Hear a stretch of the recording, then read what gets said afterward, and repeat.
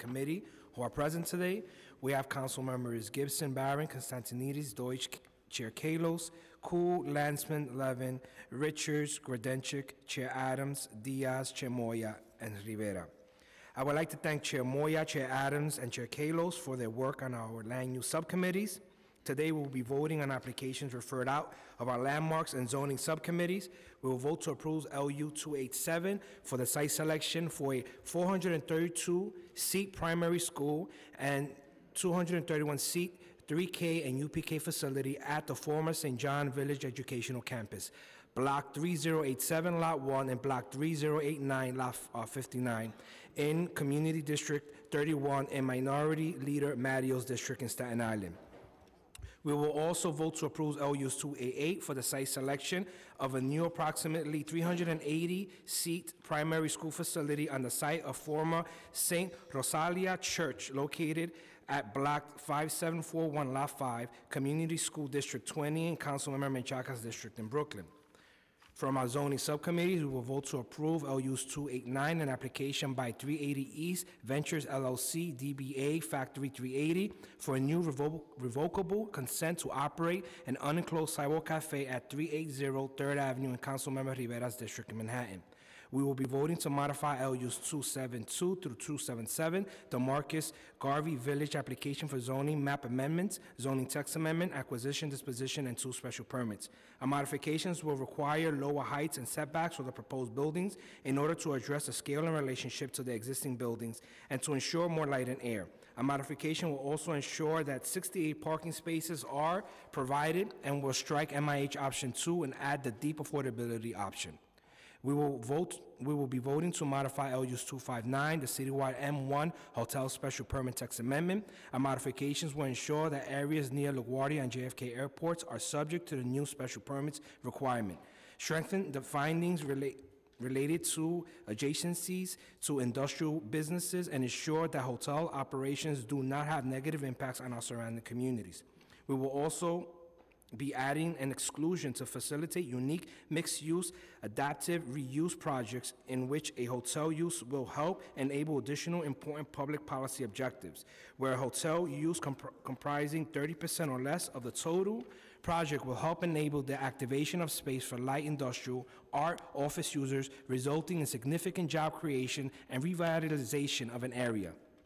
We will be voting to modify LU 269, the, s- the Special Garment Center Text Amendment, to allow for inclusion of a hotel in a mixed-use project and permanently affordable housing, subject to an HPD regulatory agreement without a hotel special permit if a site received a certificate of no harassment by a date certain. I know the speaker has worked very hard and closely with the Manhattan Borough President Gale Brewer and his community in addition to the fashion industry and manufacturing community to address a variety of concerns around the preservation of existing manufacturing space while acknowledging that there is a real need to permit the conversion of buildings to office space. We will vote to approve LUs 270 and 271, 1451 Franklin Avenue rezoning for property in Majority Leader Cumbo's District in Brooklyn. This application is for rezoning from R6A, R6A slash C1-3, and R8A to R8X and R8X slash C2-4 and would apply MIH option 1 to the rezoning area. We will be voting to modify LUs 280 and 281, an application for a zoning map amendment to rezone 25-29 Jay Street, and a zoning text amendment to facilitate bulk modifications in Councilmember Levin's district in Brooklyn.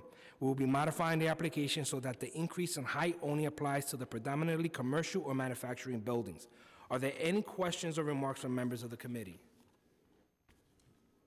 All right, seeing none, I will now call on a vote in accordance with the recommendations of the subcommittees and the local council members to approve 270, 271, 287, 288, and 289, and to modify LUs 259, 269, 272 through 277, and 280 and 281. Will the clerk please call the roll?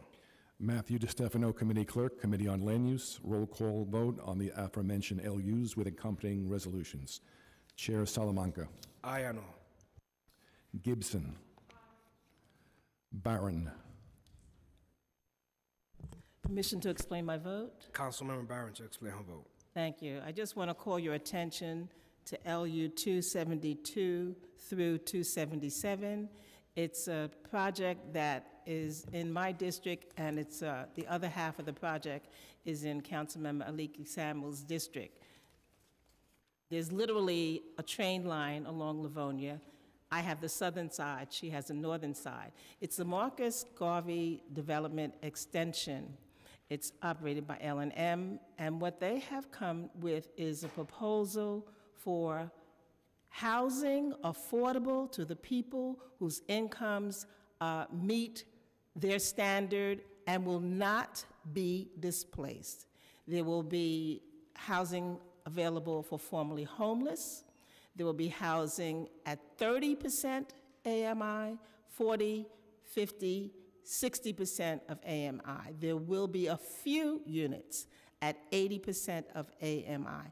And that's because my community has an AMI of about $34,000. That's the median in my community.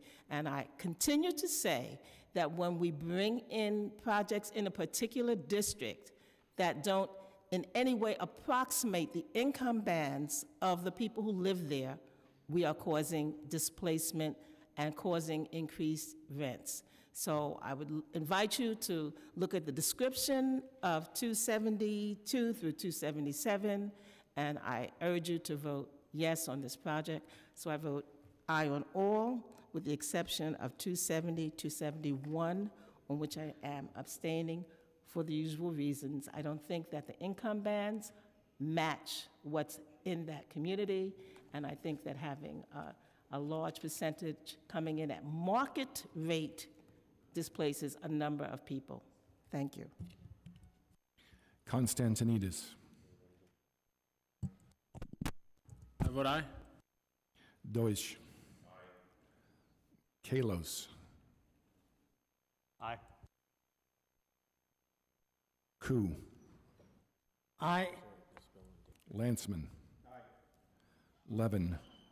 Uh, With appreciation to uh, Chair Salamanca and Chair Moya and my colleagues on their patience on um, 29 Jay Street, uh, I want to uh, vote aye on all. Thank you. Richards. Aye. Grodenchik. Aye. Adams. Aye. Diaz. Aye. Moya. Aye. Rivera. The following is a breakdown of today's land use vote.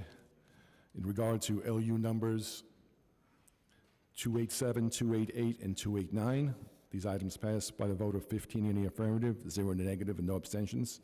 In regard to LU numbers 270 and 271, these, these items passed 14 in the affirmative, zero negative, and one abstention. In regard to LUs 259, 269, 272 through 277, 280, and 281. These items were approved with modifications, and they passed by a vote of 15 in the affirmative, zero in the negative, and no abstentions. I would like to thank members of the public, my colleagues, council, and land use staff for attending today's hearing. I will leave the roll open for 10 minutes. Thank you.